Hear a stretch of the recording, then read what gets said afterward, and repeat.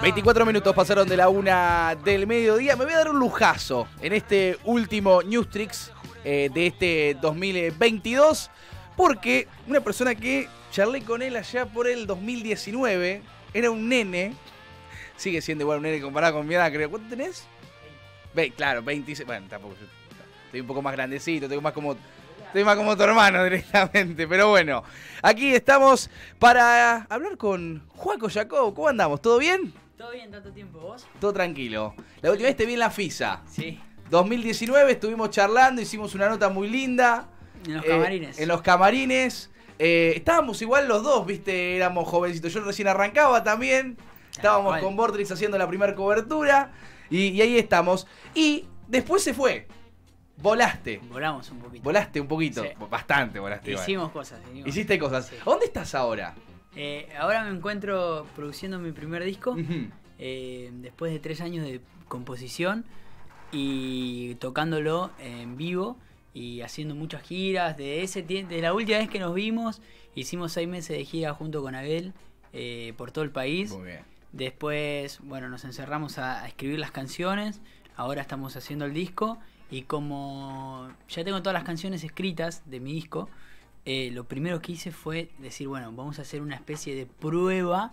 eh, y vamos a meter 70, 80 personas en una sala a ver qué les causan esas canciones. Bien, a ver, para la gente que, no sabe, hoy, 21 a 30, en el espacio Juanita Primera en Alvarado 818, va a estar Juaco presentándose, eh, como decíamos, con este disco que querés que íntimo va a ser esto. Sí, el, Íntimo. el disco es eh, no va a ser íntimo. No va a ser íntimo, Tiene rock pero, de todo, claro, pero, pero íntimo va a ser la Va presentación a ser la presentación, sí, sí. Estoy yo solo junto con un amigo que también es productor del disco, eh, tocando las canciones. Hicimos lo mismo esto en La Plata. Son salas chiquitas de 80 personas. Hicimos lo mismo en La Plata. Y por suerte, después de un trabajo de pico y pala, eh, de ir a tocar a muchos bares, pudimos llenar por primera Muy vez llené una sala. Entonces, nada, me sentí. Me- Encima fuera de casa, ¿viste? Claro. Re loco. ¿Mamá y papá fueron? Claro, ¿eh? ¿Mamá y papá fueron? Por supuesto. Porque sí. yo me acuerdo en los bendiciones estaban ahí. Sí, mis padres, mis padres nunca se meten, pero van a todas las fechas. Sí, sí, sí. A todas las fechas. L- Los veo siempre que están presentes. Siempre, siempre. Siempre presentes. Siempre. Juaco, me decías, a ver, eh, vas a estar en Bahía ahora, estás paseando por la ciudad, conocida ya por viendo supuesto. un montón de amigos. Pues yo, mirá, eh, lamentablemente, hace tres años cuando me fui, después de vi- volví tres, tres veces, pero para Navidad y para Año Nuevo. Después Claro. me iba porque, por suerte, estoy con mucho trabajo. Claro. Eh, y tengo toda la vida ya bastante armada en Buenos Aires y tengo la agenda muy movida ahí, entonces no podía volver mucho acá. Entonces dije, bueno, la única forma de volver va a ser tocando para quedarme muchos días. Y además Buenos Aires, a ver. Llegué antes de ayer. Triple de grande. Siempre hay Me cosas imagino para mucho- pero siempre bar, hay cosas, mucho siempre hay lu- cosas para hacer. Claro. Eso es lo que pasa en Buenos Aires. Siempre hay algo para hacer, siempre. Qué sé yo, te pasa como me pasó el otro día de cruzarme a Andrés Jiménez en el Mm. subte, eh, un grosso de Sí, sí, animal, sí. De, de mente, yo hiper mega fanático, te pasa eso de encontrarte Claro. con él hasta, no sé, pelearte con, con alguien porque te pide monedas. Claro, sí, un sí, día. Entonces, Es así. no es parás, es una vorágine, sí, a- ya hay veces que te harta un poco, Me, pero me, gusta me- igual. me imagino igual que eh, fue un cambio bastante importante, porque de Bahía, que a pesar de que Bahía es ciudad y todo, sigue siendo un pueblo grande, vamos a decirlo así, sí, a pasar realidad. a la selva, porque No, ¿sabes lo que fue? Mirá, Al principio, ¿cómo fue? Mirá, que estamos en confianza. Eh, yo agarré y como mi familia es de, de- de- de- O sea, no es de un poder adquisitivo muy grande, dijo, bueno, lo primero que tengo que hacer es ponerme a trabajar un año antes. Entonces me puse a trabajar a animar fiestas infantiles. ¿viste? Bien. Y a cantar, ¿viste? Entonces animaba fiestas infantiles en Sin Sarabín y animaba. Taca, taca, taca, y cantaba. Y ahí me había armado un colchoncito. Y me conseguí un amigo que conocía a otro amigo que tenía un departamento en Once enfrente de Abasto, en el barrio de atrás. Y le digo, ¿cómo está el departamento? Eh, más o menos, va. Me moví ahí, que fue lo que llegué, que estaba bonito, pero tuve unas experiencias ahí medias malas de... de, de- En lo que- porque fue la- barrio. Y eso, Sí. y fue la pandemia también. Y a ver, una, ahora me pones a vivir ahí y no me importa, pero en su momento estaba muy apaisanado yo. Claro. Imagínate, me como las heces, soy medio timidón, eh, me da vergüenza no ciertas sabés ni para dónde arrancar. Claro, entonces me pierdo y me pongo en el celular y me han querido robar muchas veces, la pasé muy mal. De hecho, cuando me estaba a punto de, de- de volver a Bahía, pues dije, bueno, quizás no es lo mío. eh, O no es el momento, me Claro, quizás no es el momento, soy muy chico, me fui con 17 años. Y era un nene, literalmente me fui. en- ¿Terminaste el colegio? Sí, antes de terminar el colegio. ¿no? Antes de en, en- en noviembre yo ya me estaba yendo y en febrero ya me instalé, cuando terminé, por supuesto. Pero en noviembre ya me estaba yendo mucho a Buenos Aires. Te digo que noviembre de ese año lo pasé prácticamente en Buenos Aires. ¿Se le daba bola al colegio o no? No, ¿qué le voy? Imposible. Pero mi directora que la amo, que se llama eh, Denise Moschetti, eh, siempre me exigió, obviamente, a aprobar todo, Claro. a estudiar. Pero siempre me facilitó las faltas y eso se lo voy a agradecer siempre. Porque ella me decía, Juaco, yo sé que vos no... O sea, te vas a dedicar a la música. Claro, no, sé". no, no, no vas a, no vas a ser contador, abogado. Igual, igual pasa en muchos colegios eso. Como es el último año, vos tenés que. El que se va a Buenos Aires viaja mucho afuera para Sí. ver eh, cuál es la universidad, cuál es el departamento. Y loco, empezás a sumar faltas y si la escuela no te facilita algo, es difícil. Pero bueno, para no irme de tema, cuando me estaba a punto ya de volverme, porque la, la situación estaba difícil, eh, estaba yéndome a anotar a una universidad de ingeniería en sonido. Porque dije, bueno, viste esa es la típica. Cuando vas a probar con el arte y se te cierran las puertas, Claro. decís, me anoto en algo para decirle a mi viejo, mirá, pa, lo que estoy estudiando. Estoy, ah". estoy- estoy estudiando y capaz cosas así. Después ves si te recibís o no. Pero a ver si zafás o no no te zafás. vas a recibir No cuando a arrancás a recibir. estudiar así una carrera. Cuando vas a arrancar la carrera, ah, te fuiste a anotar, no te vas a recibir. No, no te es a así. recibir, eso es. Es, es tan simple como eso. Entonces me fui a anotar así y yo me acuerdo que eh, las expensas me daba la plata a mi viejo. Entonces me da el mes de las expensas, era la segunda expensa que pagaba y yo me quería comprar un pedal de guitarra. Entonces no sabía que eran las expensas. dije, bueno, ya fue. No las pago. Me faltaban cuatro lucas, yo ya tenía otras cuatro, y dije, voy con estas son ocho, me compro un buen pedal de guitarra y el mes que viene repongo las expensas. Eso había que pagarlo todos los meses, Claro. era barrido todo. Entonces, No sabía. no, yo no. bo- Boludo, te lo digo ahora, es una demencia, un nene. Yo era un nene. Gino, Claro, claro. O sea, me crié acá en las calles de acá, que Sí, nada sí, que ver a. Buenos Aires. Era un nene en Buenos Aires, era un nenito en Buenos Aires, cerca de. Entonces agarré, fui bien cabeza de termo a Talcahuano, me compré mi pedacito de guitarra, estaba chocho y cada dos minutos me llamaba la encargada, ¿viste? Y yo la peloteaba, digo, ¿cómo hago ahora para sacar cuatro lucas? Y entonces un día estoy llegando, todo muy frustrado, yendo, ahora lo cuento riéndome, pero estaba muy mal, me estaba yendo a notar, pues ya sentía que, que como que estaba cediendo gran parte del Sí. arte, yendo a anotarme una carrera, y digo, ah. y me llama una foto de un perro, con un perro, ¿viste? Que el típico encargado de edificio Sí. es una señora mayor que tiene una foto de un perro, Sí. o sea, perdón, pero es la realidad. Eh, totalmente. Es así. Y veo la foto ahí del perro y digo, "Uf, hola. Atiendo así, muy malhumorado. Dice, hola, ¿podés hablar? Y estoy medio apurado. ¿Quién es? No, te habla Abel. Eh, ¿Te llamaba? ¿Sos Juaco? Y si no te llamo después, me dice. Y me corta. Imagínate cómo, cómo lo atendí. Yo pensando que era el de las expensas con el pedal. Totalmente. Y ahí salí corriendo del subte y lo llamo y digo, uy, chabón, perdóname, le cuento la secuencia, le digo, me pasó esto y se entró acá de la risa, le digo, y nada, no sé qué, me dice, estás en Buenos Aires, ¿cómo no me avisas, boludo? Que estás Claro. en Buenos Aires solo con 17 años. Yo a igual lo conozco de los 10 años, ya Claro. hace mucho, a él y a su gente. Y ahí nada, me dice, no, qué ingeniería en sonido, vos tenés que seguir haciendo canciones, que te veo en eso, me dice, yo te voy a ayudar. Y bueno, y me pegó una mano. Y eh, ahí pudiste, y ahí pudiste pagar las expensas. no, no, eh, mira, te digo que me pegó una mano súper humana más que Claro. nada. O sea, de, de saber que tengo un amigo en Buenos Aires, saber que tenía alguien. Sí, sí, que cualquier cosa que necesitabas. Gino, me agarró la pandemia. Sí, sí, yo sí. iba a una universidad, entonces no tenía amigos en Buenos Aires. Estabas solo. Estaba solo, estaba solo, estaba No solo. te podías mover mucho, porque además Buenos Aires es peor que acá Me todavía. agarró la pandemia. Mi, mi amigo vivía en Villurquiza, ¿sabes lo que era más allá? Mm. O sea, los primeros meses del primer año fue caótico porque fue con la pandemia. Yo me dejo los, los instrumentos en Buenos Aires y me vengo para acá Claro. echando, echando puta, o sea, Sí. me vine así muy rápido, me dejo los instrumentos, pero ¿qué pasa? A mí me había llamado él. O sea, es como que te llame el Diego para... Sí, sí, sí, eh, sí, totalmente. O sea, para- eh, y yo lo digo con orgullo, Sí, yo sí. máximo ídolo por cómo canta, por todo. O sea, te había llamado Bilardo para jugar en su equipo y vos tenés los instrumentos en Bahía. ¿Qué Claro. me importa la pandemia? Agarré, me subí, le dije a mi hijo, llévame, me llevó todo con barbijo, guante, me tiró en el departamento y me quedé cinco meses de pandemia Mm. en el edificio que me pasaron un montón de cosas. Me falleció una vecina casi en mis brazos. No. Un montón de secuencias que dejaron a este pibe más loco lo que está. Claro. Y ahora igual la cosa ya está muy bonita, Bueno. estoy viviendo en un buen departamento, tranquilo, estoy con las canciones, estoy con Estás trabajando mucho. Estoy trabajando mucho y se acomodó. Pero el primer año fue un. Que si ahora me dicen tenés que ir a Buenos Aires Claro. y vivir todo eso, no lo hago. No lo haces. Es así. Si lo tenías que vivir en un momento, ya está, ya lo sí, viviste. sí, en el momento lo A- pasé. Ahora es todo un poco más tranquilo, se podría decir. Sí. Trabajando, pero más tranquilo. No, pero más tranquilo, hay un enfoque, eh, qué sé yo. eh, no le gusta aparecer, pero eh, tengo una amiga que me puede acompañar a todos lados y, y esas cosas está buenísimo, no me siento solo, me siento en compañía y eso es fundamental para el artista. Pero en ese lapso eh, escribí un montón de canciones, fueron 40 canciones. Sí, que después eh, hicimos un trabajo de, de meternos en, en un lugar en Mm. Pinamar, junto con Abel, los dos solos una semana, a agarrar las 40 canciones y empezar a trabajar y a decir, bueno, cuáles quedan, cuáles no, Claro. eh, cuál, cuál nos emociona más. Y de esas 40 agarramos 10.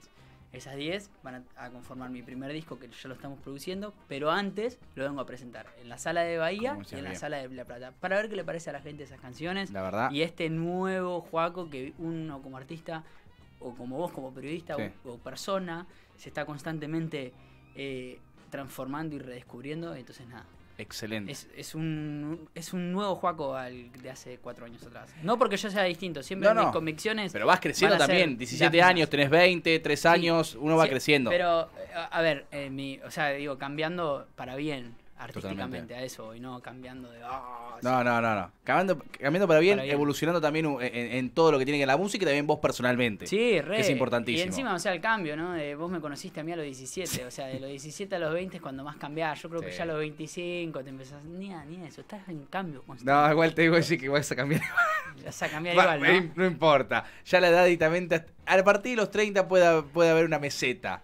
Sí. Pero antes, no. Va Igual dicen que la mejor edad son los 40. Sí, es la de la no quiero llegar, pero no importa. No, yo tampoco. Déjame así con 26 estoy bien. año, boludo, yo la paso mal. No, yo también, me pongo nervioso. Ya digo, no, otro año más. No, yo no lo festejo. Yo le dije el año que viene, a partir año que viene, me voy de viaje. Está No me importa. A 100 kilómetros, no me importa. No quiero a nadie. Vos tenés 24. 26. Ah, bueno. 26, 24 importante. te diré yo. No, no, bueno, bien. Bien. Porque me afeité, si me ves ayer estamos al horno. Juaco, ¿estamos para tocar algo? Para que la gente te escuche. Re. Estamos con la viola ahí que Sí, tiene Juaco. eh, yo el sonidista Pará. me va a matar. ¿Puedo poner un micrófono de estos? Porque yo me ¿Puede poner un micrófono una- de, de esto? Acá porque no tengo Dale, boca en la buenísimo. guitarra. Perfecto. Entonces le vamos a tener que agarrar este acá sin tapar la cámara y ella me va a matar. Va, va a venir un No, día. no, pero estamos bien, mira, ahí se ve bien. Sí, se ve. Se ve, se ve, se ve, se ve bien, pero a ver, Da- Dai no, nos acomoda todo. Vamos. Dai. Muy bien, Dai, que Ah, ¿nos estamos viendo ahí? Exacto, estamos en vivo ahí. Ay, ¿qué es este fondo? No, Claro. me muero. Impresionante, ¿Y, ¿viste? le podés poner lo que quieras? Lo que quieras podemos poner. ¿En serio? Cualquier cosa. Uh, Cualquier cosa con el croma se puede hacer cualquier cosa hoy en día.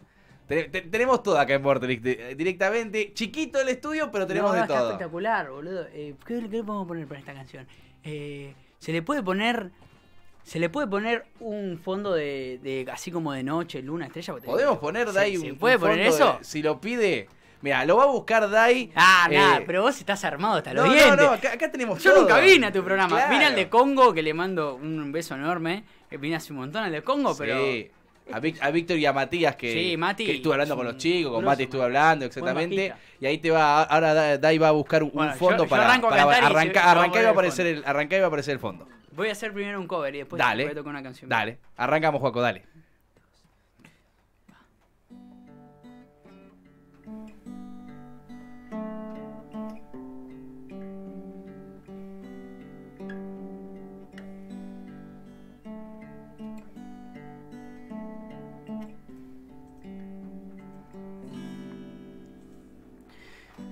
Mamá sabe bien, perdí una batalla.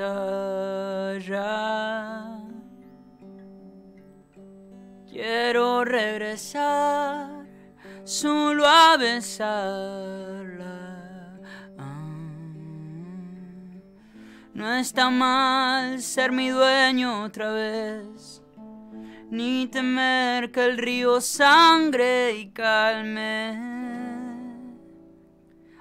contarle mis plegarias.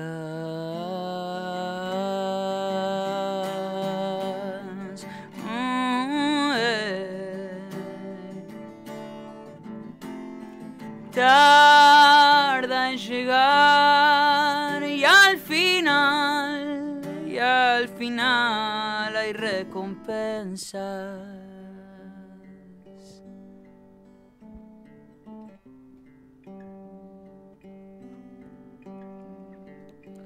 Mamá sabe bien, pequeña princesa. Mm, Cuando regresé, todo quemaba. Ah. No está mal sumergirme otra vez, ni temer que el río sangre y calme. Sé bucear en silencio.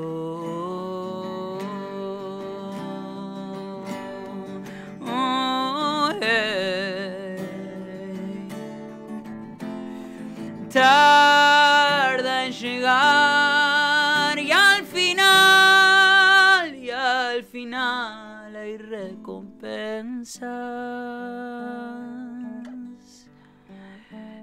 la zona de promesas. En la zona de promesas.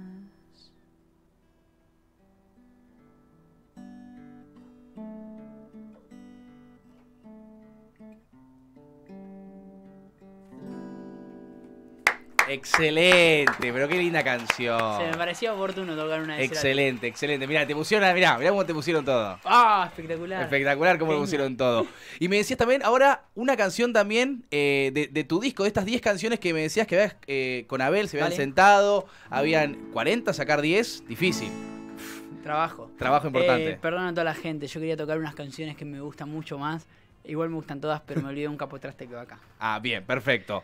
Y tenemos, bueno, como decíamos, Juaco también nos estoy- decía... y como hoy tocamos a la noche, Claro. excusa bien de cantante, estoy tocando canciones tranquilas. Bien. Porque vengo muy pasado de rosca dentro de la- lo de la plata, todos los viajes, todo estoy. Claro, Estoy haciendo algo con tranqui, todo. ahora me voy a dormir una siestita y a la noche estoy. Excelente, clean, Clean, clean. perfecto. Bueno, Juaco, vamos con la segunda canción, tema tuyo, Esto se llama Tu manera. tu manera, tu manera de Juaco Jacob. Un, dos, tres. Yo nunca me fui. Siempre estuve aquí. Pensando en ti. Vuelvo a dormir. Todo lo que soy. Ya es parte de ti. Todo esto que soy.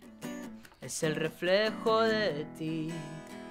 Es tu manera y tu forma de hablar. Me abraza siempre al caminar. No exijo nada más. No quiero nada.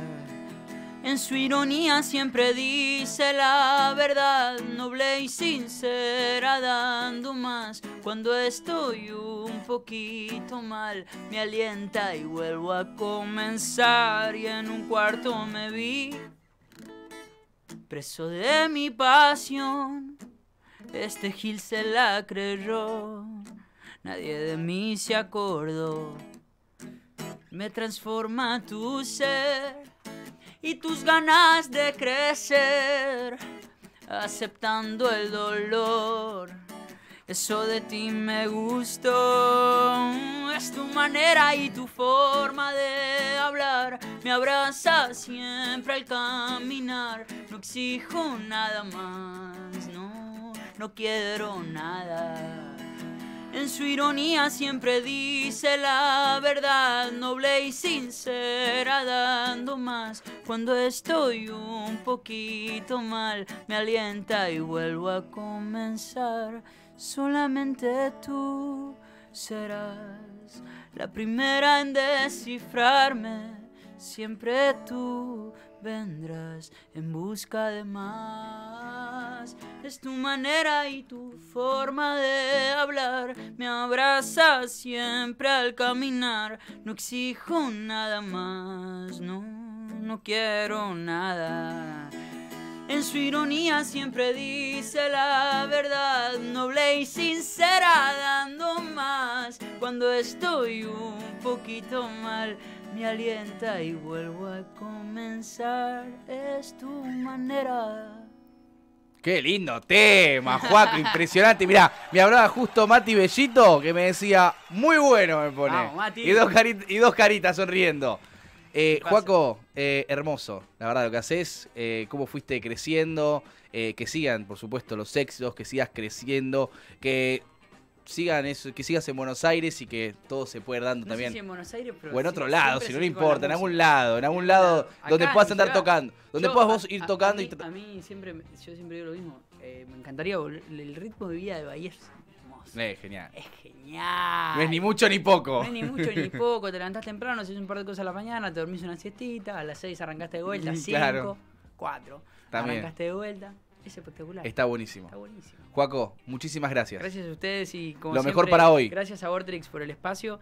Quedan, dejamos, o sea, se- las entradas que están en online y demás, Sí. quedan creo que 5 Sí, y después dejamos 10 solamente para puerta. Así perfecto. que el que la está dudando puede ir a puerta y está en ahí. 21 a 30 en el espacio Juanita Primera, Alvarado 818. Juaco se va a estar presentando, presentando las canciones de su nuevo disco que saldrá Cuando Dios quiera. cuando Dios quiera. Me encanta. Nosotros hacemos otra pequeña pausa en este Justrix. Eh, Rafa, eh, perdón, discúlpame. Yo sé que me pasé bastante, que tenés que hacer tanda, pero no nos queda otra. Y nosotros ya nos vendremos con los últimos 15 minutos de programa de este 2022.